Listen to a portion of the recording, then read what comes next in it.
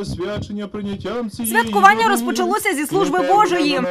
Раність творивши ученикам вітуванням Святого Духа.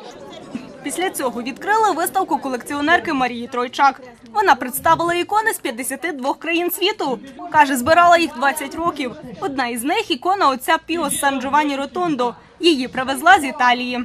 в саркофазі. Зараз його нетлінне тіло лежить, де дуже багато так само зцілень. І моляться до тих ікон і отримують великі чуда. Я е, його вибрала собі як духівника для себе, і я при всіх потребах звертаюся до нього.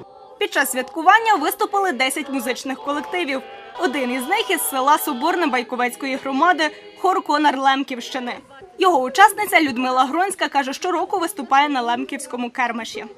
Моя бабуся переселенка з Польщі, мій батько переселений з Польщі. Тому лемківська говірка, лемківська пісня мені дуже близька з дитинства, і я це стараюся зберігати, навчати своїх дітей. Одна із учасниць святкування Ольга Цеплик. Вона одружена з Лемком. Каже, вони разом щороку відвідують Лемківський кермаш. Я прийшла в сім'ю де Лемки, де було в сім'ї десятеро дітей, чотири брати і шість сестер. І я кажуть до мене, чому ти так всюди до Лемків? А я кажу, як я вийшла заміж, то кажуть, що я сію зломчива. І мені вони дуже. Такі милі серцю, тато чоловіка навчив мене, чуєш, то полечко не уране. А надзвичайно я сама особисто любила співати Дам я яловицю і цілого коня, щоб моя доня не сиділа дома.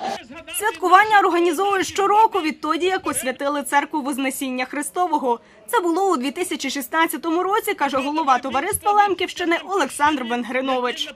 Це наше свято, наш праздник. І а на Лемківщині називали це свято Кермиш. І ми хочемо відродити нашу культурну і духовну спадщину. І ми хочемо зробити все, щоб це свято продовжити так, як наші проводили наші батьки, діди, прадіди. За словами Олександра Венгриновича, на Тернопільщині проживає 200 тисяч лемків. Мирослава Західна, Василь Панчук. Новини на Суспільному. Тернопіль.